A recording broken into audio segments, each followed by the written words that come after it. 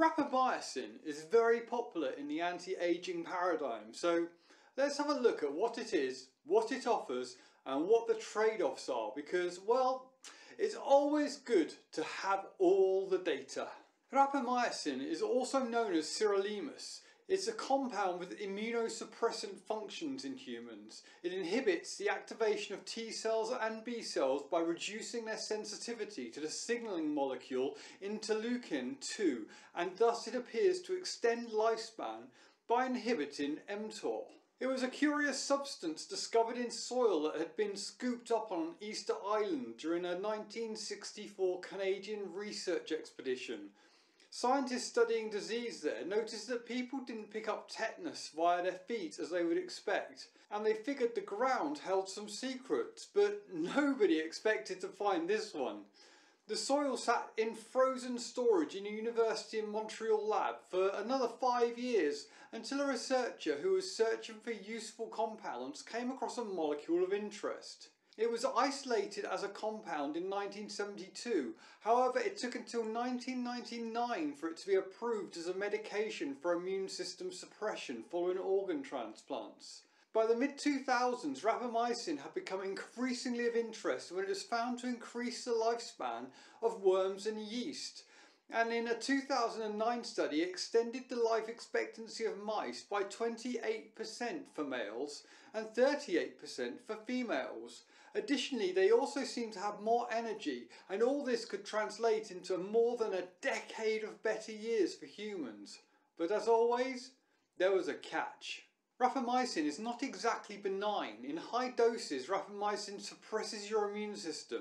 It is for people who have undergone organ transplants to keep their bodies from rejecting the donated organ, and it can have some less pleasant side effects. In roughly 5% of patients in clinical trials, these side effects were bad enough for them to quit the treatment and to have it listed as a drug that comes with serious or life-threatening risks. Risks like infections, pneumonia and cancer with common side effects such as mouth sores, chest pain and increased susceptibility to infection and the possible development of lymphoma and other malignancies due to immunosuppression.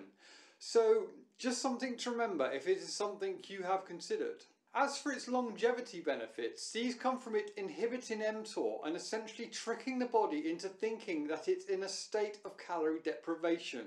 This leads to the cellular workers consuming your oldest, weakest cell parts and parts of senescent cells.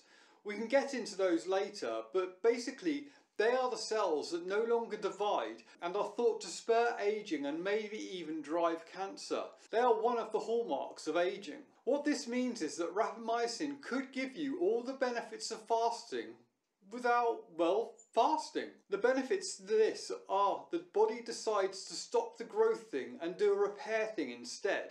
This means it sets about renewing what it can save and disposing of what it cannot. However, as this study shows, in mice there appears to be no longevity gain even though mTOR saw a significant lowering. So as always it appears we do need more studies. Here we see a study from 2014 and it shows that after taking a reduced dose of 25% for 6 weeks, this immunosuppressant drug actually boosted immunity levels. And as with this study, we can see that mTOR inhibition improves the immune function in the elderly and a faltering immune system is known to be a major factor in the ageing process. So finding the threads to tie it all together is still going to take a bit more nailing down it appears. In addition to the studies on rapamycin in yeast, worms, flies and mice, in 2014 scientists began work on dogs and they found that those on the drug showed signs of younger hearts and a reversal of age-related cardiac issues. So indeed, some more conflicting data to be sure, but this is down to bad study design, looking for the wrong things, or is it just one of the many anomalies that can crop up from small studies or when trying to project what happens with small rodents into real life humans?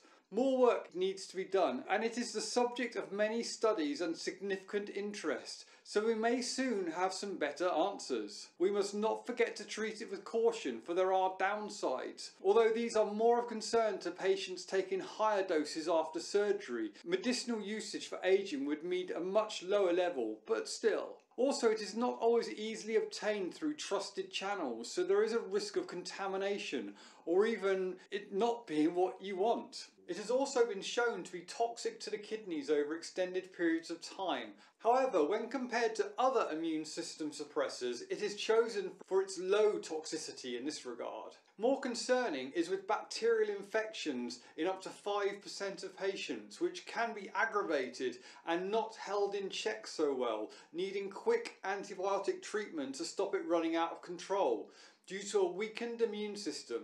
And then we have antibiotics themselves, which are not something to be taken more than when you absolutely need them, as they decimate your microbiome and gut flora.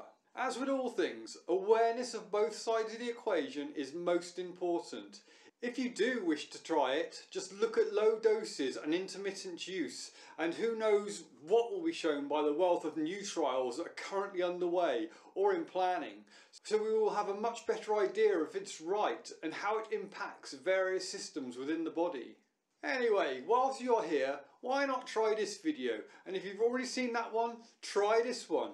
And before you go, hit the subscribe button and click like please. That'd be much appreciated. As always, thank you for dropping by.